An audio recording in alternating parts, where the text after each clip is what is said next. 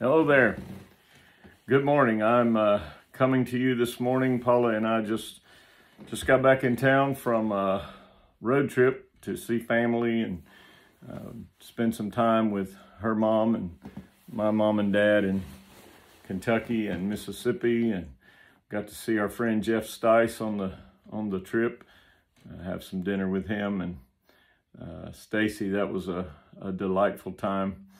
I'm just coming to you this morning for a call to prayer and praise to uh, invite you to join Paula and I as we uh, bear one another's burdens and fulfill the law of Christ. I trust you and your family are doing well as as we are. We are uh, very blessed and very grateful in this season of our lives.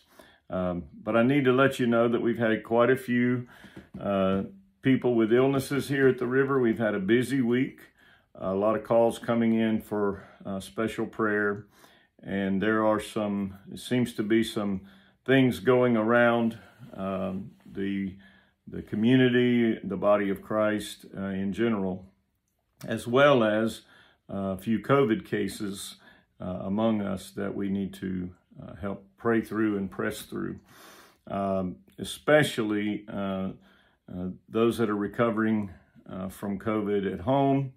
And then we have Steve and Karen Price, who are recovering in the hospital at this time uh, with the assistance of the doctors there. And Karen has been on a, a breathing tube or a, a vent since yesterday. Uh, so she especially needs you to just lift her up and um, believe with her and believe with us for uh, a quick recovery, that she would uh, get this um, disease, virus um, rid from her body in the mighty name of Jesus. Uh, I wanted to just let you know that uh, we, as as in the beginning of this thing over a year ago, year and a half ago, uh, we take this very seriously.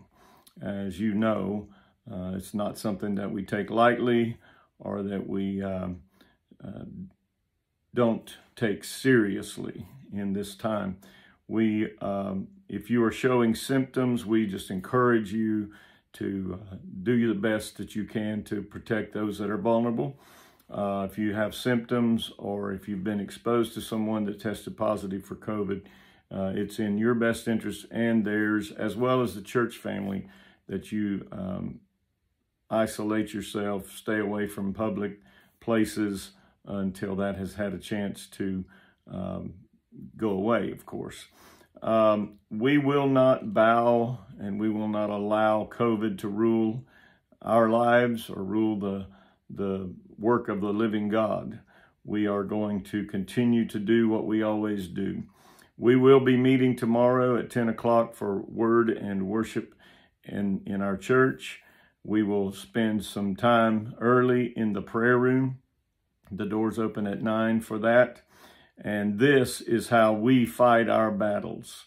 This is how we overcome through praise, through prayer, and through the Word of God. The Word will not fail us.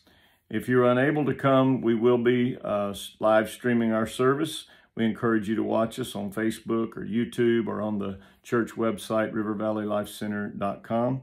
And if you are watching us, please don't just sit back and uh, be entertained by that. Please engage in worship. Please pray with us and please click in there and um, be engaged with the social media.